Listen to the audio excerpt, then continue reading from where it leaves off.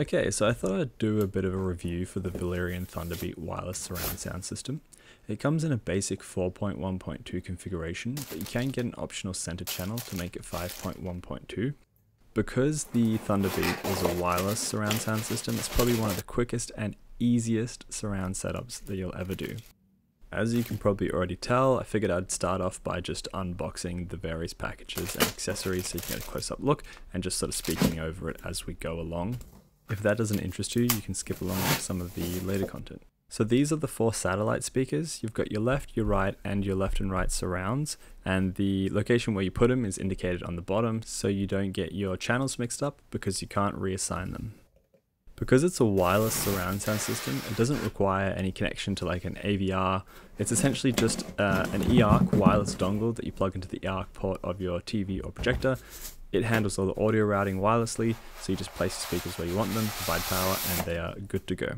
It's Valerion branded, but the speakers are platform agnostic, which is great to see because if you do upgrade your theater setup down the road, um, you can either resell these or you could put them into like, I don't know, another TV in your room or somewhere else in your house just to spice up the entertainment.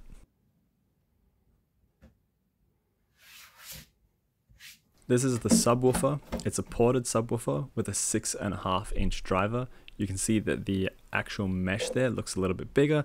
That's probably for looks reasons.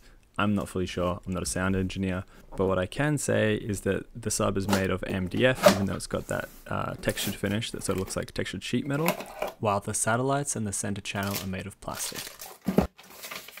The center channel also comes with wall mounts. It would have been good to see wall mounts that can tilt a little bit if you're mounting it below a screen, not really a big deal. I'll probably 3D print something that will let me do that at a later date. And I can share that in the description, I guess. Or if you guys do it before me, you could share it with me. I wanted to take a closer look at the drivers that were inside the satellites. And so here you can see those 0.2 channels. Even though every satellite has its own upwards firing Atmos speaker, so the idea here is that you're using the ceiling reflections to um, present that Atmos sound effect, which does actually work surprisingly well, but I think it does require more thought into the placement of your speakers. It requires a ceiling that isn't going to be covered in some absorptive material. It should be flat and it should be relatively low, or at least the normal height. I think if you have very tall ceilings, that effect is, is kind of somewhat lost, or at least that's been my experience. Here we've got the remote going through all the different settings. Uh, you can go back and take a look at that if you need to go over what's there. Basically, there's different profiles for, for audio settings. Um, there's basic EQ that you can change. You can turn off some settings on the speakers themselves, like turning off the lights, turning off the tone that they play when they start up and connect to the dongle for the first time, and also for turning on mapping. So if you're not going with the center channel configuration, it's got a mapping button that will map the center channel audio to the left and right speakers. And you definitely want to turn that on if you don't have the center channel. The wireless dongle accepts a variety of inputs, so you've got Bluetooth, AUX, USB, as well as the eARC. The eARC's the only one with the full eight channels, the rest is stereo, but it does have uh, DTS Virtual X, which can, you know, turn stereo into surround sound if you needed to use that in a pinch.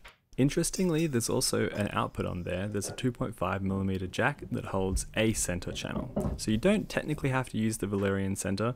You can use any other center as long as you're willing to use an analog input. But what I think it's really designed for is if you're using a UST projector or a TV that has a center line in port on it. And then you can use the uh, projector or the TV as the center channel you know, speakers itself.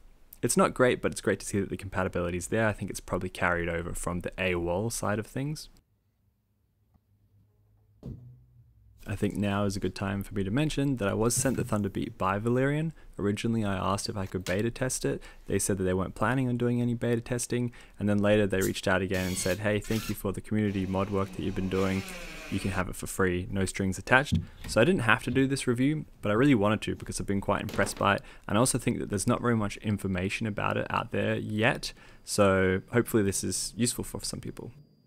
Once you've set up your Thunderbeat, which took me like 15 minutes, uh, excluding the wall mounting part, it's seriously very quick and easy. You just power on everything and they automatically pair to the dongle. You'll want to make sure that you enable eARC on your projector or your TV and then you're also going to want to go into your sound output settings and you're going to want to enable pass through. I wanted to validate which audio formats the Thunderbeat supports in pass-through mode, so I hooked up my computer and played various audio files, and the long story short is that it supports all of the audio formats you would want it to support. There's a very handy audio format button built into the remote. When you press it, it'll tell you what format is currently playing, so you can troubleshoot very easily if you're getting what you're supposed to be getting. There's a bit of a caveat to that though, because not all TVs and projectors are going to support passing through all audio formats. So if you're not getting sound, you're going to want to disable that pass through and you're going to want to enable the auto audio format. And most likely it's going to come through as Dolby MAT, which is PCM with the Atmos metadata. Two settings I can immediately recommend, turn on auto dim and turn off tone play. It'll make your experience nicer. Now, for the frequency response testing, I originally did this inside my room, but realized it would be completely polluted with room reflections if I'm taking far field measurements. I don't have an anechoic chamber, so the next best thing was to take it outside and take measurements in an open space. It's not a perfect setup, but after applying impulse gating, I'm pretty confident that the frequency response is correct. I took all of my measurements using the UMIK 1 calibrated microphone, Using Room EQ Wizard, I'd play a sweep and it would look something like this. Now these are the results of the center, the satellite, and the sub. The sub is a near field measurement that's had its port and woofer measurements combined. All of them are targeting an SPL of 75. There's a bit of variation here and there's strangely a very large null around the 3.8 kHz mark on the satellite speaker, which you can see in red. After lots of testing, I'm confident that this has something to do with the crossover design between the woofer and the tweeter, Practically, it's not something that I would have ever noticed during normal playback. I mean, the speakers sound fantastic to me. But these are the measurements, and the measurements don't lie, especially now that we've applied some gating to them. So that null is still there, and it's definitely worth Valerion investigating because I'm sure they can improve it. I think it's to do with the phase of the tweeter and the woofer during the crossover period. I did try reversing the polarity of the tweeter and did see that that null disappeared entirely, but it introduced nulls in two different frequencies that I would actually expect to have been cut out by the crossover itself. But again, not something that I actually notice as an everyday user, and interestingly, doesn't appear in my in-room measurements, which have a lot of reflections, but does have a flatter response overall, which is what most people would want to see in a sound system, so they know it's accurately reproducing the audio that the director has intended. I've just quickly put the frequency response of the satellite with the gated satellite and the center with the gated center, so you can pause and look at those if you want to. I thought I would also include my full room frequency response. So this is essentially a measurement taken from each speaker in its location in my room, keeping the microphone in the same position and then averaging them all out together, just to highlight what I'm hearing at my listening position in a non-sound treated room. Now you can see here that the bass, well you know where it gets its name Thunderbeat from now. And this is with the bass setting on the remote set to minus 5, which is the lowest it can go. Now don't get me wrong, in my room, it actually, I can't tell that the bass is that much disproportionately higher than all of the other frequencies. But I do think that the option for those that don't love bass that much should be there to be able to EQ it lower, at least in line with the rest of the speakers. I almost feel like there should have been a dial on the back of the subwoofer to be able to just reduce the gain from the amp. Similarly, I wish that the center channel had an option to increase its volume. I do sometimes find myself wishing that I could just turn up the loudness of that center channel without having to increase the overall volume. I also think that would greatly help with making up the SPL drop off above 10,000 Hz that I'm seeing in my room's frequency response. I'm actually pretty stoked with the frequency response in my room considering I haven't done any sound treatment. I wasn't expecting it to be so flat between 100 Hz and 10,000 Hz. It doesn't really deviate more than 3 decibels from the mean in that region. I was expecting there to be a drop off above 10,000 Hz, partially because that center channel can't quite get as loud as I'd like it to be. I definitely wasn't expecting the peak on the sub to be that high in the bass region, but it does make sense and I don't think it takes away from the experience or sounds overbearing at all. For example, I only run the bass on minus 2 in my current setup, but I brought it down to minus 5 for the measurement. I expect that in a larger room, like a living room for example, it won't peak quite as high as well. A feature that would have been great to see built in would be some kind of room correction feature where you can either plug a microphone into the dongle or the speakers themselves maybe have microphones on them. That would be a nice to have. It's not something that I've greatly missed or that I think is super important because At the end of the day, this is a really quick and easy surround sound system to set up that's also very flexible and sounds so much better than any built in TV speakers or projector speakers that you could be listening on, and definitely blows any soundbar solution that doesn't have any rear surrounds on it out of the water. There's just no competition there. I haven't really touched on the surround sound aspect, but there's not that much to say about it actually. Surround sound is just so much more immersive than stereo. It really brings you into the movie. I think it's something that everyone deserves to have in their home. To measure the latency of the wireless technology that the Thunderbeat is using, I actually used that 2.5mm center channel out port on the dongle as a loopback device. So I was able to measure the time difference between the signal first coming out of that 2.5mm port and then coming out of the wireless speaker, and it consistently measured as 27.5 milliseconds. The overall audio sync of the wireless speakers has been a complete non-issue for me. I cannot tell the difference. The only time that there is any delay whatsoever is when it's changing audio formats. So if you're hitting start and stop on the same audio source, there's no way I'd be able to tell that it isn't a wired system. Okay, I think that pretty much covers everything that I wanted to say about the Thunderbeat.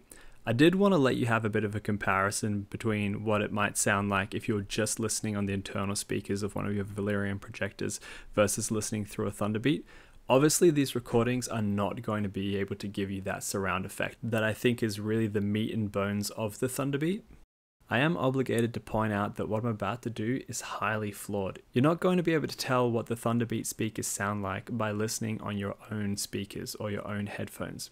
If you're listening on a phone speaker, for example, you're not going to get much of the bass range, and everything you listen to is probably just going to sound crappy. So go grab a good pair of headphones and then only compare the speakers based on their relative performance. You'll be able to definitely identify differences, and I think that's useful enough to know what kind of improved experience you would get with a Thunderbeat system versus just rocking on with the internal speakers, which definitely work great in a pinch, but are just not nearly as immersive. I recorded the Thunderbeat in both its 5.1.2 and 4.1.2 configuration so you can see if there's much of a difference in terms of the sound quality that comes out of it, but that's not going to at all give you that improved sound stage that the center channel really gives you in real life. The differences are there, but they're very subtle, so I've uploaded the Audacity files where I did all the recordings so that you can use those to compare them yourself. Funny, you told me something similar. No, no! One less share, right? Funny, you told me something similar. No, no!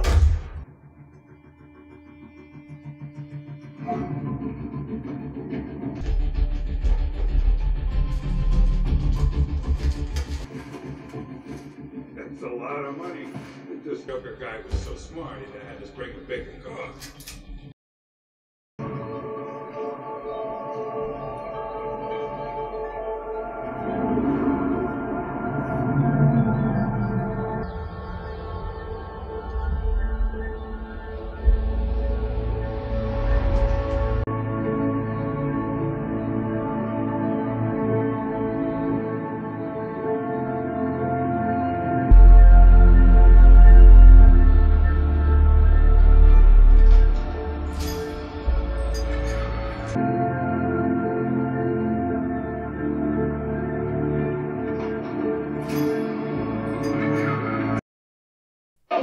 I don't speak Italian, but he ain't happy.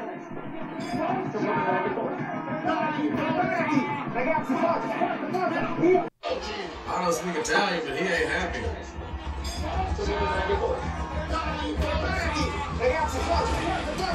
Finito, finito, andiamo, andiamo, andiamo, andiamo, andiamo! Get me out of here, Clutch! Come on! Come on!